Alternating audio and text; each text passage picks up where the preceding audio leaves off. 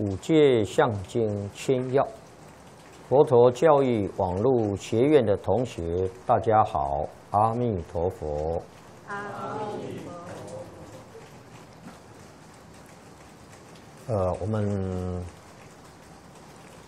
上一集啊，以大家学习视觉观。还有九想观，那么我们学到九想观，这个第一关，这个这是属于观想的部分那么我们看到偶益祖师啊，在。一路上的开示啊，给我们说明这个学习这个戒律啊，不但要明了啊这个戒相的开遮持犯啊，而且呢还要。做观想，那这个观想的总原则就是四念处，啊，四念处，啊，祖师给我们讲，四念处是佛法的总观，啊，所以学习戒律呢，啊，不是只有在这个戒相上。去学习啊，学的这个戒相，开车吃饭啊，还要学这个四念处啊。那么没有四念处这个基础呢，那么就不是佛的戒了啊。这个戒呢，那就变成人天善法啊。那么也就是呢。这个出不了三界，六道生死轮回啊！因此，我们学佛啊，我们修什么样的因啊，会达到什么样的结果，我们一定要非常清楚、非常明白。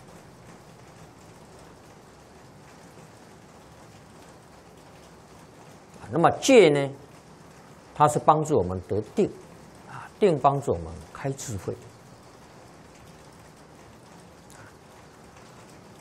学佛有五层佛法：人层、天层、声闻层、缘觉层、菩萨层。啊，这个一般讲啊，五圣的佛法。那么最终目标呢，是要入一圣法。这个一圣呢，就是明心见性、大彻大悟。但是众生的程度不一样，啊，个人这个善根福德因缘不同，啊，因此有这个五圣，啊，这个教学的过程跟阶段。那么我们学佛的人啊，当然啊，呃，求人天福报的人是占绝大多数。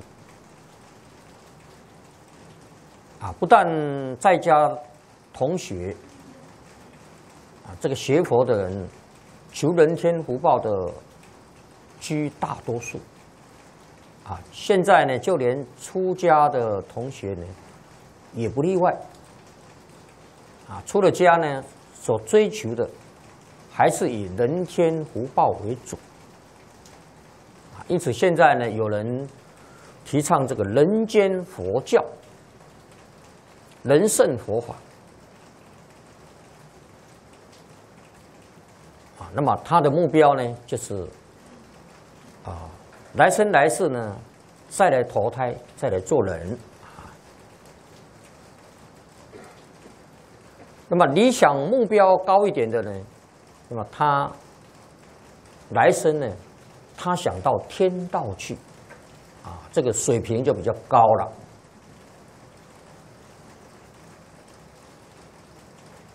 啊，那么这个也是方便接引。啊，佛真正的目的是要我们明心见性的，啊，这是最终的目的。但是呢，如果还不能达到这个目标呢，最好啊，也要了脱三界，分断生死，处理这个六道轮回，啊，证个阿罗汉果，辟支佛果。啊，因为在六道生死轮回是不究竟的，众人在人天两道享福呢，也不究竟。啊，福报享尽了，又要堕落了。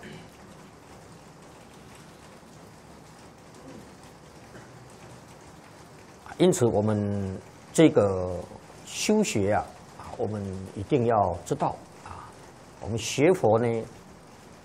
最终的目标。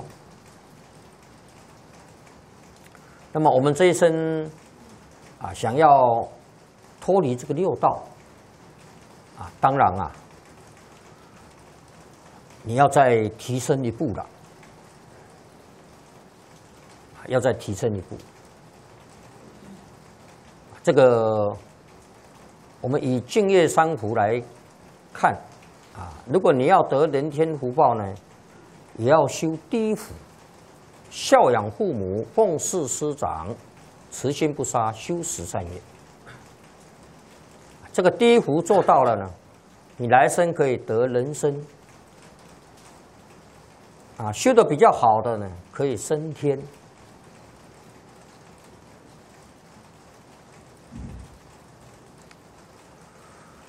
那么第二福啊，受持三规，居足众戒，不犯威仪。啊，这个第二福呢，就是出世间的了。啊，所谓出世间呢，它就是放下呢这个世间呐，名闻利养、五欲六尘啊这些人天福报的享受了。啊，他要超越啊这个六道了。所以受持三规，居足众戒，不犯威啊，这个是。属于出世法啊。那么第三幅呢？发菩提心，深信因果，读诵大圣，劝进行者啊，这是大圣菩萨法。那么大圣呢，出世啊，他也入世啊。那么如果没有出世，也谈不到入世。所以现在很多人把这个观念上都混淆了啊啊，他不想了生死出三界啊，那么他说他要发愿呐，这个效好菩萨的精神啊，那么在六道里面呢度众生，那这是不是佛的说法呢？不是。佛在经上是可没有这么说啊！佛在经上给我们讲啊，啊，如果自己度自己都度不了啊，要去度别人无有是处啊，就是没有这个道理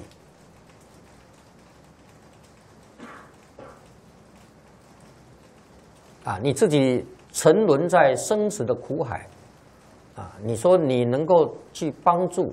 去救度这个一样沉沦在苦海当中的众生，啊，佛说没这个道理，啊，那么一定要怎么样？呢？一定是自己呢已经脱离这个苦海，啊，回头再来帮助这个苦海当中的众生，啊，那真的是能够帮帮得上忙，啊，那么我们现在呢自己度自己都度不了啊。啊说帮助众生呢说实在话呢是越帮越忙了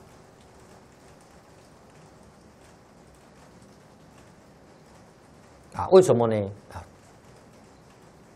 自己都帮不了自己那怎么能帮别人呢？啊这是一定的道理。啊因此呢啊这是出世啊然后再入世。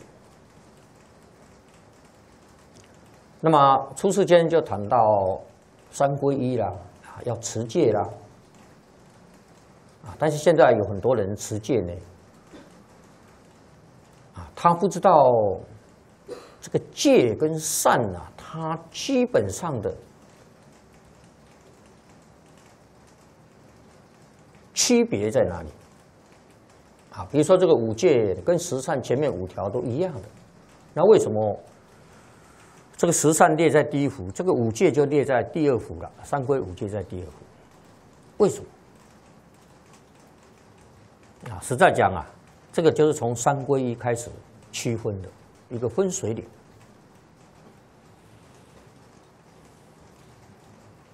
啊，修第一幅啊，他想求人天福报，啊，这个一定可以得到。啊，那么修人天福报的人呢，他就不一定想要了生死出三界了。啊，因此呢，很多这个世间呢，我们看到大慈善家啊，做善事的人啊，其他宗教的啊，他们也很认真在断恶修善。啊，那么所修的都是属于人天福报。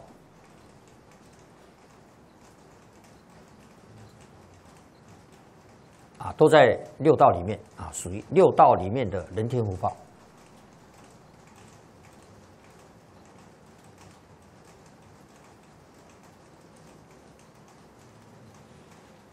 啊，这一点我们必须明白啊。那么我们学佛呢，就是要超越啊，超越这个世间。那么谈到这个持戒呢，现在很多人持戒呢，他没有。深入啊，古来祖师大德这些开导啊，也就是说没有亲近到善知识啊，因此自己学的呢，学的不对了，自己以为是对的。这个现在也有一些道场啊，标榜持戒的法师。都会出现这个情况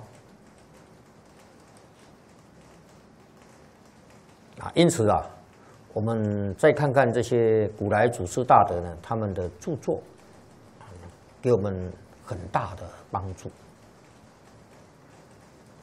所以祖师给我们讲啊，这个五年学戒啊，刚学佛五年要先学戒律。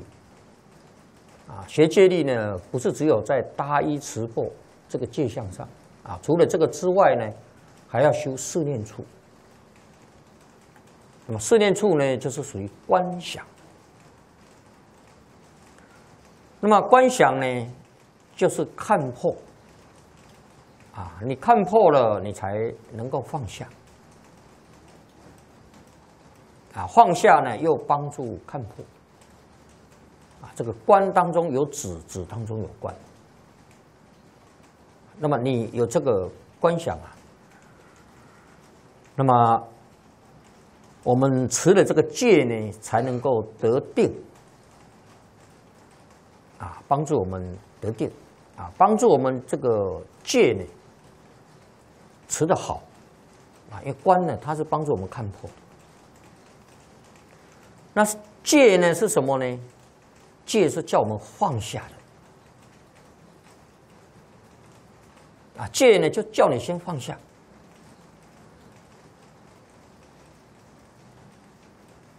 啊。那么刚开始呢，我们哦受了这个戒了，哦不杀生、不偷盗、不淫逸啊，在家是不邪淫啊，不妄语、不饮酒啊。这个以前没学佛的时候呢。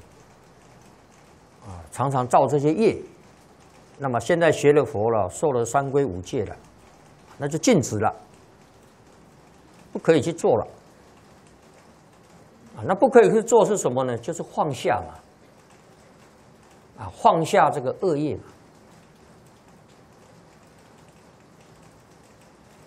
啊，但是这个时候放下呢，实在讲啊，放的也是心不甘情不愿的。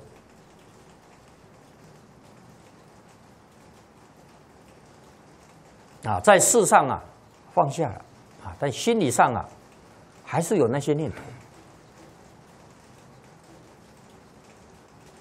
啊，心理上啊还没放下，啊，但是这个身口啊，事上啊放下了。那么这个戒呢，它就是叫我们先放下身口这个造作，啊，先静止起来，你先放下，啊，然后再教我们修观，啊，修观就教你看破，啊，为什么叫我们不能做这个？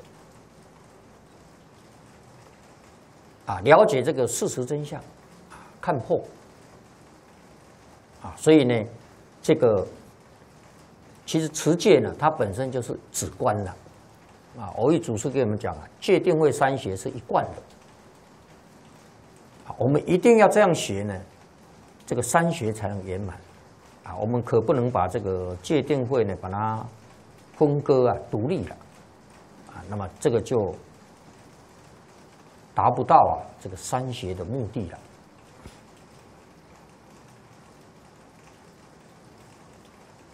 那么此地呢，讲了这个戒啊，好的，我们现在讲到这个第三条淫戒啊，在家是不邪淫啊，出家是不淫欲啊。现在受了这个戒了，啊，禁止，这个就是放下了啊。那没有学佛的人呢，他没放下啊，他还继续造这个业。那我们第一步呢？先叫我们看破，再放下来。实在讲，这个也不是很容易的啊。这个根性要比较利的，根性要比较利。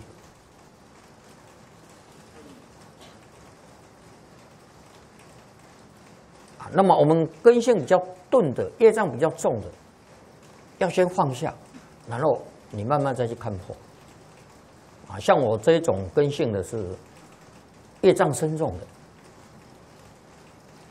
啊，说叫我这个呃看破哦才放下呢，做不到。所以我出家前十五年呢，听我们敬老教授讲经讲了十五年，道理都知道啊，那么只能做到呢。不杀生，但是叫我不吃肉呢，还真难。那么也看了这些书啊，啊怎么去观啊？安世全书也看了，观来观去呢，抵不过习气的诱惑啊。这个看到那个肉啊，闻到那个香味啊，那我那个 就控制不住了啊。那吃了再说吧。那么出家之后呢，我们敬老教授叫我跟日常法师学戒律。哦，那个日常法师啊，一开始就一百八十度的大改变了。啊肉不能吃了，烟不能抽了，啊，而且晚上也不能吃了。啊，那吃素啊还不能讲究口味，啊，就是吃大锅菜。啊那个也不能煎，不能炒，不能炸，就是用开水煮，煮好了再几滴几滴油，啊，放些盐巴，可以了。啊，也也不能吃水果。啊，绿常法师说他是研究科学的，这个蔬菜就有维他命 C 了，还要吃什么水果？啊，就天天吃大锅菜。啊就吃一个，啊，没有第二个菜，就吃一个菜。那么这个就是，啊，我一开始也很难受啊，但先放下呀。啊，你说如果我在社会上啊，恐怕到现在还继续在吃肉啊。但是你这个一出家啊，他就给你限制了，不可以。你心里很想吃，就是不能吃。你先放下。啊，这个戒呢，他就先叫你放下，因为你遇到那个环境，你一接触到，你就控制不住嘛。啊，这个就像吸毒一样。啊你说一天到晚呢，你跟那些吸毒的人在一起，在那个环境，啊，你说叫他去看破那个毒品的害处，啊，那放下呢，不要去吸毒，这个恐怕很难做得到。啊，所以我们看这个戒毒的人呐，一定要什么样呢？先把他抓起来，啊，关起来，啊，跟这些人呐，这个环境隔离，那他才有可能戒掉。这个就是先放下，啊，放下呢，让你这个头脑冷静了，啊，啊，慢慢呐，再去观想，这样才能关得起来。那么像我这种业障深重根器的。是要用这种方式。那像我们老教授，他就不用了，他就在那个地方就看破放下了啊，他他他他可以做得到。那这个这一点我就很难了啊。因此呢，我们这个戒啊，就是先放下，但放下之后呢，你能彻底放下吗？啊，恐怕放了一段时间呢，又换了啊，换了就是什么？又换戒了啊，所以呢，你放下之后啊，没有办法彻底放下啊，恐怕呢，又是换到这个戒，所以你要修观啊，修这个观来帮助你放下啊，那么先放下呢，又帮助你修观。所以最近呢，我自己体会到这一点心得呢，提出来跟诸位同学分享。啊，所以这个观呢，它也帮助我们持戒，啊，那么你持戒呢，帮助我们修观，修观又帮助持戒，它是相辅相成的、相关的。啊，所以祖师才劝我们要修四念处，啊，不管在家出家同学都要修四念处。那么四念处，第一个观想就是观身不净啊。第二个呢，观受是苦；第三呢，观心无常；第四，观法无我。这个是四念处啊。那么第一个要我们观的就是观身不净。那么我们前面讲的这个视觉观啊，跟现在讲的九想观，那么这个属于四念处第一个观身不净，属于这个。好，我们继续来学九想观啊。昨天讲的啊，我们在啊重复啊，重复跟大家呃简单的啊复习一下。三九想观，此观诚实，荒物深厚，无量凄惨，是为反中绝爱方便门。人想死亡日，欲火顿清凉？愚人若闻此，愁眉叹不详。究竟百年后，同入尽回场。菩萨九想观，苦海大金梁。啊，昨天呢，啊这段呢，我们简单跟大家讲过了啊。那么这一段呢，就是给我们讲此观成实啊，成就是成就的时候。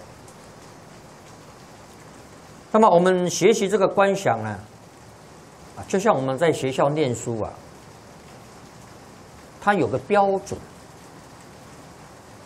啊，啊，这个标准呢就是考试啊及格不及格。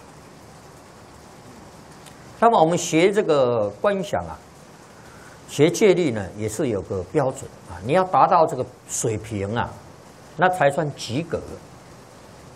啊，如果还没有达到这个水平，就是还不及格，啊，还要继续学习。所以这个诚实就是成就的时候。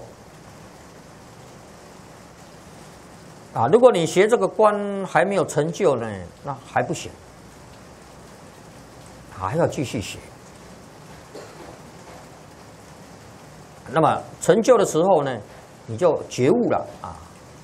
觉悟到什么呢？我们这个自己一生啊，身后是无量的凄惨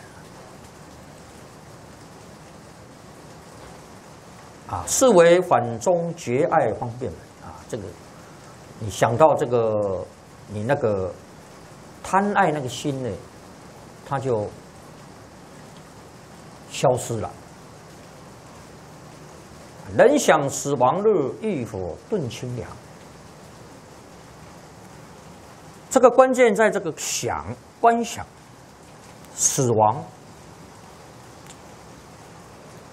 这个人死亡，我们每一个人都知道啊，人会死啊，啊，甚至我们自己也看过死人呐。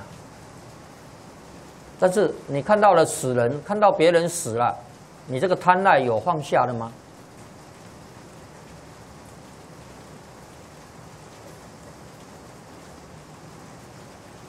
啊，我常常想啊，在医院里面，那些医生护士，啊，虽然有的人死了，有的人还没死，但天天看呐，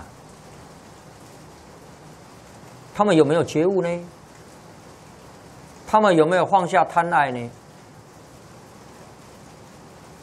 啊，这个殡仪馆的洗尸体的人，天天在接触死人。啊，给死人化妆啦、洗澡啦、换衣服啦，他有放下吗？啊，卖棺材的啦，啊，那包括我们学佛的同修、修净土的同修，常常帮人家助念也，常常看到死人，我们自己看破了吗？放下了吗？没有贪爱了吗？啊根据我个人的观察，看是看了，啊看多了，看久了，那就怎么样呢？麻木不仁了，啊，看的麻痹了，没感觉，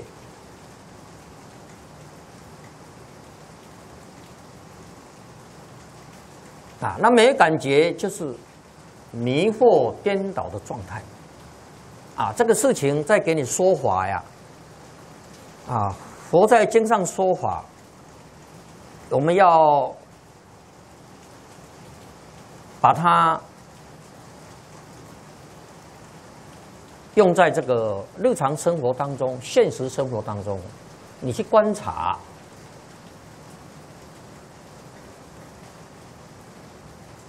啊，你去观察，这样才有受用。啊。那么你去观察呢，在我们眼前呢，时时刻刻都都在给我们讲经说法，啊，因此呢，这个地方这个关键啊，就是关键在做惯。那么这个你能够做惯了，这个你心呐也要有定。啊，你有一分的定力，能够做一分的观想；啊，有两分的定力，能够做两分的观想。那么你有了一分的观想，又帮助你增加一分的定力。这个止观啊，它是相辅相成的。啊，为了说法方便起见呢，那么说只说观啊，其实它是相关的，它相关的。它不是说独立的不相关，它是相关的。啊，就像我们讲定慧，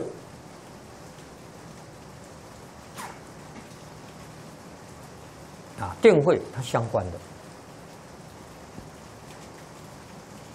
啊，这些原理我们要明白啊。那么我们现在呢，为什么这个看了啊，这个这个观还是不能成就呢？还是不能降服这个贪爱心呢？啊，因为我们没有定啊。为什么没有定呢？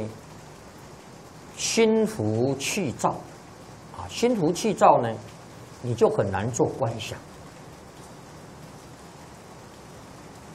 啊，所以我们要修这个观想啊，我们这个心比较浮躁的，妄想比较多的，我建议我们诸位同学呢，你先念佛，啊，像前面这个广化老法师讲，哎，先念观音菩萨，啊，依照这个普门品啊讲的念观音菩萨，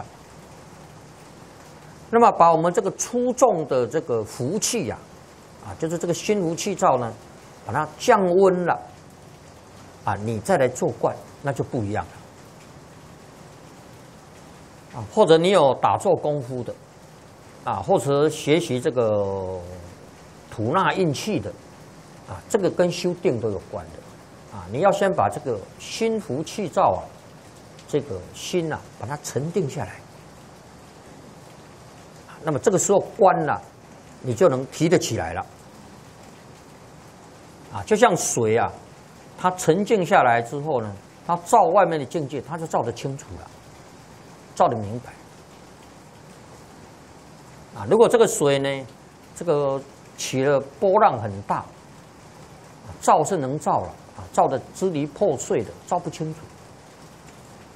啊，所以先把它沉静下来，你再观就不难。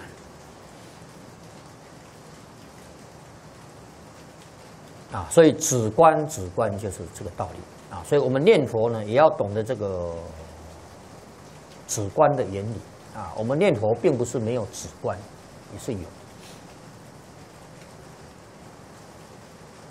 啊。把妄念止息就是止啊，提起佛号就是观嘛啊。这句佛号了了分明，字句清楚就是观。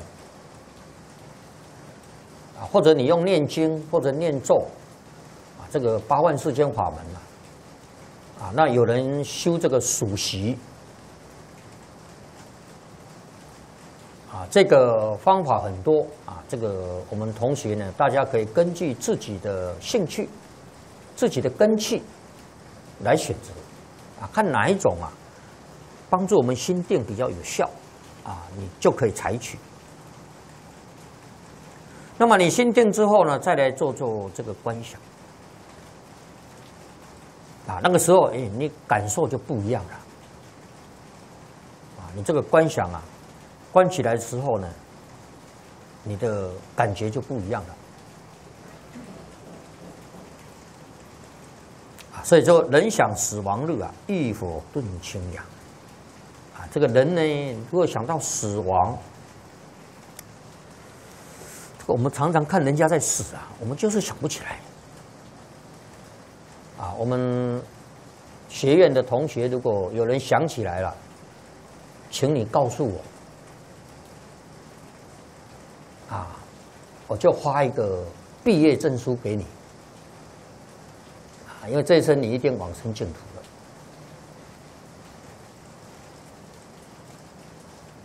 了。啊，印光祖师呢，他也。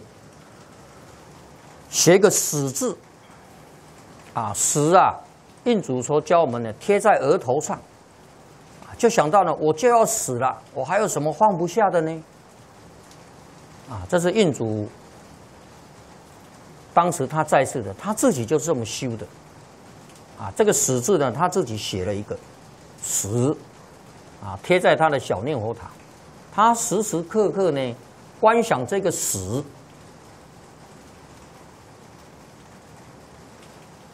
啊，所以印主给我们劝导，说修道的人呐，如果念念不忘此字，啊，能够提起这个死的观想，想到呢，我就要死了，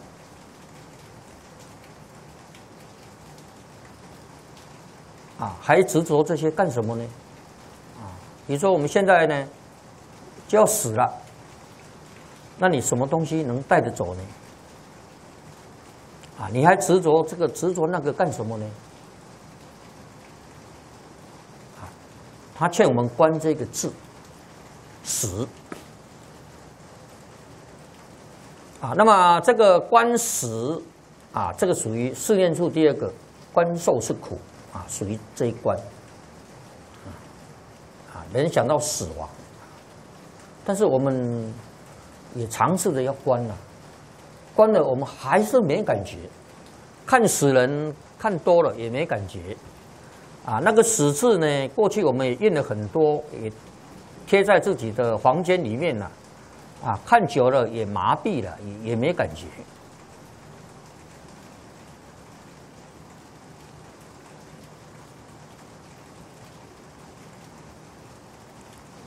啊，这个我们诸位同学呢，大家可以实验实验啊，可以做实验啊。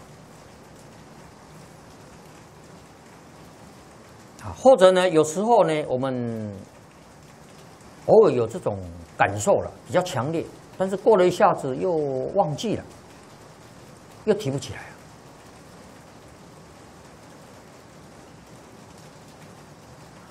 那么这个字啊，“人想死亡路，欲火炖清凉”，这个人如果这个观想能够提得起来啊，你去打一个佛七呢，保证你一心不乱。啊，这个就可以挂保单了，因为这个字你关起来呢，印光祖师给我们讲，道业自成啊，你道业自然就成就。啊，我们现在为什么打了几十个佛七、几百个佛七啊，日夜都念佛，还是心乱糟糟呢？就是这个死啊，观想没有观成功了。啊，那么没有观成功呢，你就不想死。你不想死呢，那你就不能得到一心不乱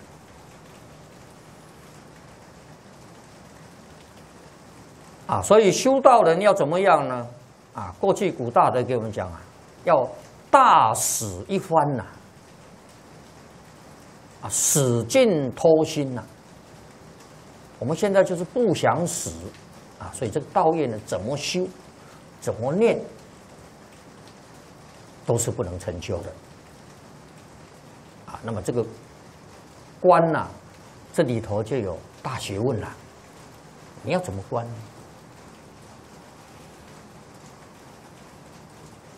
啊，那观到怎么样才算是及格呢？就是你有感觉了。啊，感觉是什么样的情况呢？啊，就是你真的把这个世间呐，一切万缘呢，放下了。彻底放下了，啊，不再贪恋了，不再贪爱了，那就及格了。啊，如果你对这个世间呢，还有一桩放不下呢，还不及格。啊，你通通放下了，啊，那及格了。啊，你可以去打精进佛期了，一个礼拜就成功了。啊，所以你要打这个精进佛期呢，它有先前具备条件的。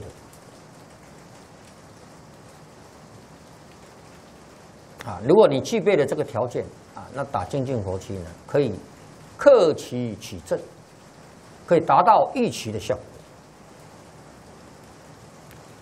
这个关键就非常重要。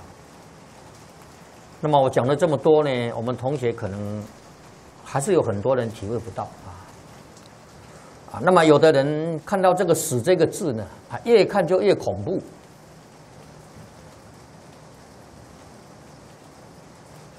啊，就是此地讲的愁眉叹不祥啊，啊，看了就是生就是生不起欢喜心，啊，想到死呢就会恐惧恐怖，那为什么会恐惧？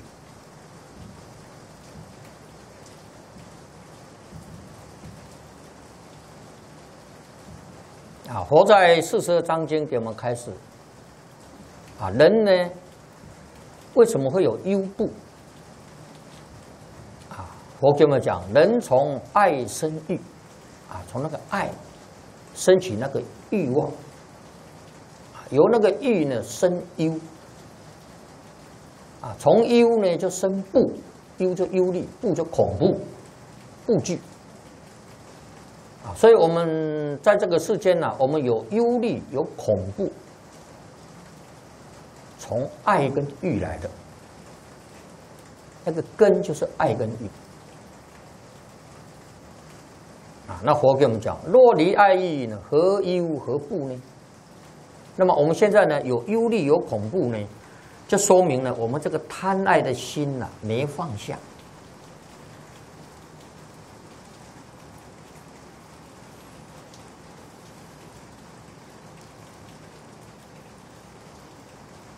我们可以从这边来测验我们自己啊，我们到底有没有优怖啊？如果还有，就是还没放下，没放下呢，就是有爱欲。那有爱欲怎么办呢？你要修观啊，要修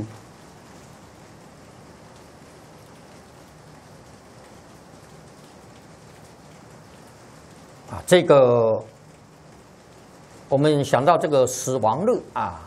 这个恐怕大家体会不是很亲切啊。那么过去呢，我也常常看，也想要让他亲切，就亲切不起来啊。那么有一次呢，我看这个近代啊《观音灵感录》，看到有一个公案，民国初年啊，在广州有一个年轻人，二十几岁，犯了一个案件。啊，被当时的县长啊判死刑，啊，在民国初年呢，这个行政跟司法他还是合在一起的啊。县长啊要管行政，还要管司法，啊，被县长啊判死刑，啊，十天后啊要执行了。那么刚好有一个法师呢去监狱弘法，啊，去给大家讲普门品，哦，说这个观音菩萨呢有人受刑了，要被这个。处死了啊，念观音菩萨就能得到解脱了，啊，就不需要受这个苦了。那么这个年轻人呢，就日夜的拼命的念呐，丝毫不懈怠，啊，啊，念到第十天呢，哦，这个县长啊要来这个验明正身，啊，午时三刻一到，啊，啊，就就要处死了。啊，结果这个年轻人呢，啊，还没有到五十三刻呢，他就在那里打坐啊，作画了，要作画了。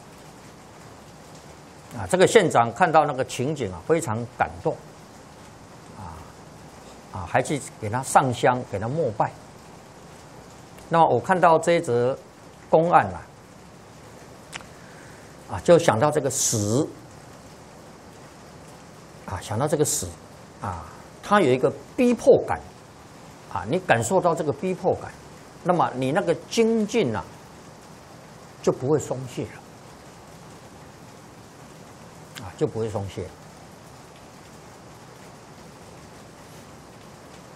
啊，这是教门观想啊。那么你想到这个死呢，你会有恐惧呢？那这什么原因呢？就是你有贪爱，那贪爱怎么办呢？这个爱意呀，就是这个爱意，你才会生忧，才会生怖。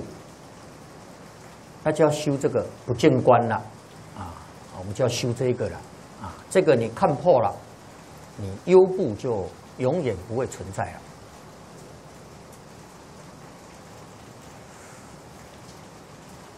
啊，我们看第一第一想啊，心思想第一。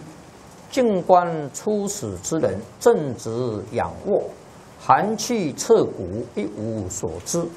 当念我贪财恋色之身，将来亦必如是，则淫心淡矣。啊，这是静观。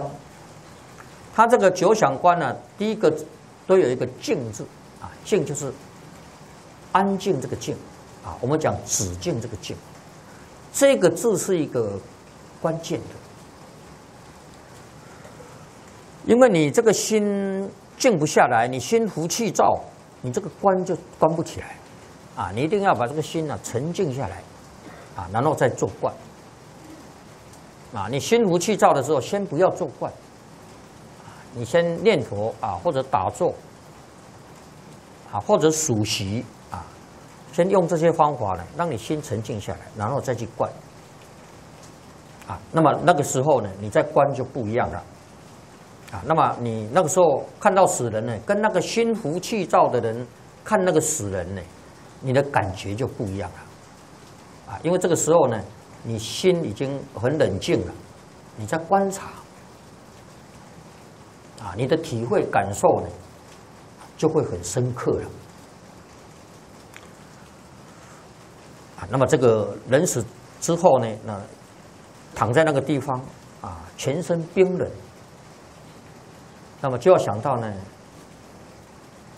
我这个身体呢，将来跟他一样，啊，看到别人就要想到自己，啊，则迎心淡啊。那么第二条呢，轻衣想第二，静观未练还思，一日至七日，黑气腾溢，转成青紫，甚可畏惧。当念我如花美貌之身，将来亦必如是，则淫心淡矣。啊，这个一就是血气不畅。啊，我们看呢，啊，人呐，血气不畅了，他就一块黑黑的，啊，一，啊，那么青色、青黑，啊，这是静观未练还是一日之七日。啊，你要冷静去观察这个还没有入殓的这个尸体呀，那么一天到七天，黑气腾溢，啊，他那个黑气呢，啊往上腾了，啊，看到那个黑黑的了，那么黑它就转成青色、紫色，甚可畏惧。那么我们这样讲体会不到啊。如果我们同学想要修这个观想啊，啊，也可以去殡仪馆啊停尸间走一走啊。那么你看到呢啊，再拿这一关去看哦，就是这样啊。你那个时候就知道什么叫做甚可畏惧了。啊，如果你怎么想都想不起来呢？那，呃，去现场看看。啊，那看透之后再回来呢，然后再继续想。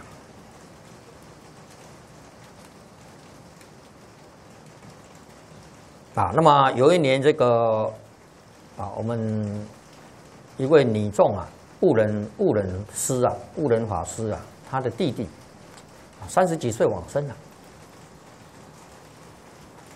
啊，那那这个这个冬天呐，这个大概酒喝多了，七孔流血，啊，悟人是在这个附近啊，他没有办法回来啊，那我去帮他助念，啊，那助念呢，助念好了之后，都送到殡仪馆去了，啊，那么他的妹妹啊，啊，亲人呐，那我就去殡仪馆呐，去去给他。念念经了，念念的佛回向了，啊，然后他这个临时牌位呢，就供在殡仪馆后面，啊，有一排啊，专门给人家供牌位的啊，啊，那么要绕到后面了啊，我们念佛啊，啊，起佛号啊，绕到后面，啊，我说想要从旁边绕过去，啊，那悟人师他妹妹说，这边中间有一个走道啊，通过去比较快，不用绕那么远。我说好好好，啊，那我知道呢，因为从中间这里走过去，要看到那些死人的一排都摆在那里的，啊，他妹妹不知道叫我走那里，啊，那我就从我就拿引磬啊，啊，走前面啊，起佛号，啊，然后通过那个停尸间，哦，一句一句的，啊，就是这里讲的。静观未练，还是一日至七日，黑气腾溢，转成青紫，甚可畏惧。啊，那么他妹妹看到了，看到我也知道呢，他一定很害怕啊。啊，然后到后面排位呢，啊，这个念头回向完了之后，啊，我就问他了。啊，问他们几个妹妹呢？我说还走不走中间这一条近的路啊？还是要绕远一点呢？他给我说，我们赶快绕远的，不要走近的这一条了。啊，那看到那个太可怕了，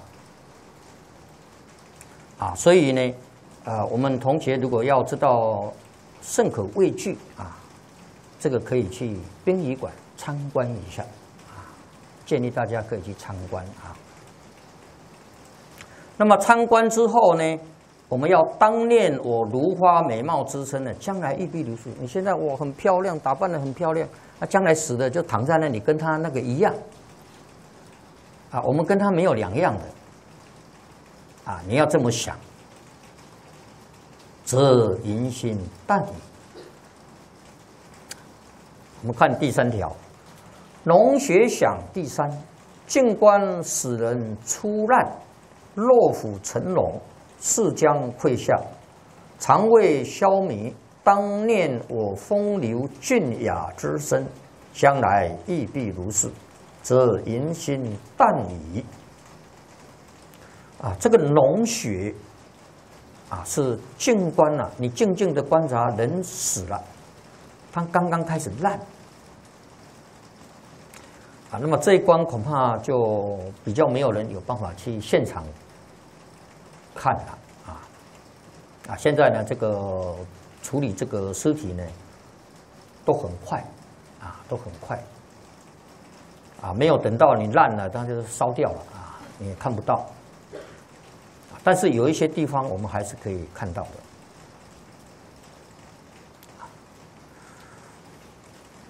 的。啊，我们从这个静观去想象啊，这个人呢，那个。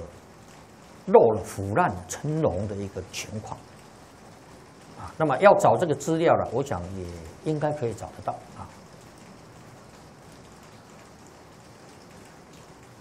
那么这个我们现在一般都是人死的都是入殓了，收起来了，大家看不到。啊，以前我听我父亲讲，啊，我父亲以前呢被日本啊征去当军夫啊，到南洋去。到新加坡、马来西亚，那么他给我们讲啊，在那个战场啊，那个军人呐，打仗死的，那没有时间去买啊，啊，他说那个尸体长虫啊，就烂，啊，就像筷子那样那么粗。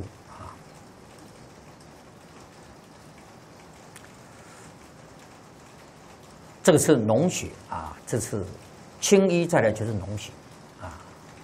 那么下面呢，第四个观想，降之想第四，静观腐烂之尸，停机既久，黄水流出，臭不可闻。当念我肌肤相结之身，将来亦必如是，则淫心半矣。这个降这个字就是深红色。深红色，啊，这个那个死人那个尸体那个汁啊，已经流出来了，啊，黄水流出，臭不可，啊，那么这个臭就是有尸臭味，尸臭味。那么我们正中同学啊，啊，我自己是没有亲身经历过，但是有一些同修呢，他们去给人家助念。那么现在呢，也常常听到呢，有一些人他死了，家人不知道的，死了好几天了，身体都烂了，才发现。那发现呢，他就找我们同修去助念，哦，那么大家去那边助念呢，是臭的要死，一方面呢，按着鼻子，一方面要念阿弥陀佛。啊，在我们中立上国林林长啊，他们就去助念，就是死了不知道的啊，然后去助念。助念他已经有尸臭味了，啊，有这个尸臭味了。啊，这个我听过好几个这个案例，啊，听过这个好几个案例啊。最近一桩呢，就是我们道场啊，庄贤法师他的二哥。也是一个人死的呢，他一个礼拜人家才发现，身体都腐烂了，啊，那么我们去协助他处理这个后事啊，那么多那个尸臭味呢就很浓了，那个可能我们不用去现场看了，啊，你闻到那个味道啊，你就受不了了。那么这个时候你要想到呢，我们现在哇，这个，哦，这个这个皮肤啊，白白净净的，那将来死的呢，啊，烂的时候呢，那跟他一样，则银心淡矣。第五个呢，从淡想第五，静观积久腐尸，遍体生虫，处处钻裂，骨节之内，皆如蜂巢。当念我。鸾绸凤履之身，将来亦必如是，则银心淡矣。这个就是虫蛋小，虫在咬了。啊，像我父亲看到了，就像像我们那个筷子啊那么粗啊，那个虫啊那么长那么粗。啊，那么虫在钻的时候呢，那整个身体就像蜂巢一样，一个洞一个洞，蜂巢一样。啊，想一想啊，我们将来也是跟它一样。啊，第六呢，金蝉响。第六，庆官府是皮肉专进，只有金莲在骨，如神素心，得以不善。当念我偷香却意之身，将来亦必如是，则淫心淡矣。啊，这个是。皮跟肉都被虫吃光了，啊，那剩下呢？金，我们这个身体这个筋，啊，筋呐连在这个骨头，啊，就像绳子呢把那些骨头呢绑着一样，啊，筋连骨，如绳束心，啊，这个骨头得以不散，啊，因为还有筋呢连着，肉没有了，筋连着，这骨头还没有散。啊，所以下面就讲骨头散了。骨散想第七，静想死尸今已烂坏，骨节纵横不在一处。当念我崇高富贵之身，将来亦必如是，则银心淡矣。啊，这个是连那个筋也烂也坏了啊，那这个骨头就散掉了，哦，在一个地方。啊，想想我们。现在呢，在崇高、在富贵的地位呢，那将来也是这样。啊，第八呢，烧焦响第八，静观死尸被火所烧，焦缩在地，或熟或生，不堪目及。当念我文章盖世之身，将来或亦如是，则银心淡矣。啊，这个是用火烧。啊，那。烧呢就缩在一起了，啊，这个不堪目及啊，看都不忍去看了。那么我们文章盖世之身，将来烧呢，不是这样吗？则银心淡。枯骨响第九，静观破种气骨，日复雨清，其色转白，破复防朽，人寿践踏。当念我韶关。韶光义脉之身，将来亦必如是，则银心淡矣。啊，这个是埋葬啊，那个坟墓呢就铺露出来了啊，这个骨头被日光晒、被雨冲啊，这个我们都看到过，啊，都看到过。啊，那人跟野兽啊都在上面呢踩过去，啊，那我们将来也是这样啊，这个身体将来就是这样。啊，那么下面讲啊，修此九想观者呢，可以从淡想时停心住想，若能观出臭味，淫心可习。啊，这个九想观呢，它重点在虫咬那一关啊，你停心住想，啊，你想到那个闻到臭味了，那你这一关就成就了，啊，你就淫心就没有了啊。啊，另外呢，古时候有一首诗呢，也颇值得玩味。诗云呢：“江上臭皮囊，当年桃花面。昔日恨不见，而今不忍看。”今天时间到了啊，我们就学习到此地。啊，谢谢大家的收看，祝大家法喜充满，阿弥陀佛。